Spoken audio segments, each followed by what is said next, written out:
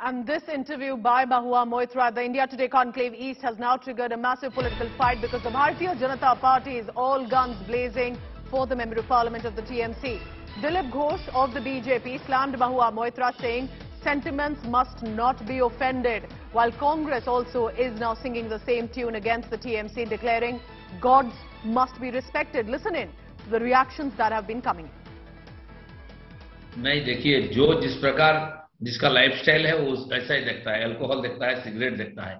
लेकिन जो काली का पूजा करते हैं उनको एक भगवान का रूप मानकर श्रद्धा के साथ पूजा करते हैं।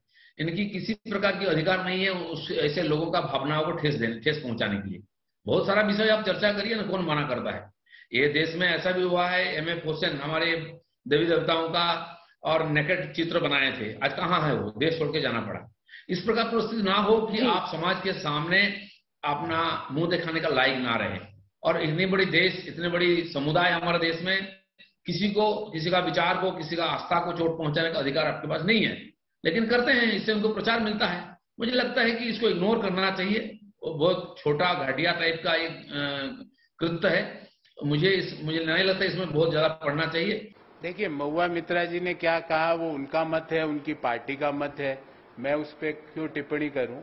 पर मैं ये ज़रूर कहना चाहता हूँ कि व्यक्तिगत रूप से हम सभी देवी देवताओं का पूरा सम्मान करते हैं, पूरा आदर करते हैं और ये सारी जो बातें जो आज उठ के आती है, ये क्यों आ रही है?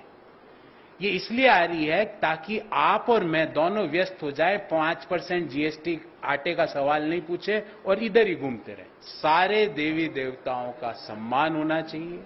किसी भी देवी देवता पर अभद्र टिप्पणी मैं और मेरी पार्टी कत्तई बर्दाश्त नहीं करेगी।